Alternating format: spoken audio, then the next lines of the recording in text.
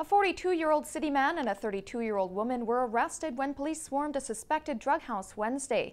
Inside the home on Cuddie Crescent, police allege finding heroin, crack, and marijuana.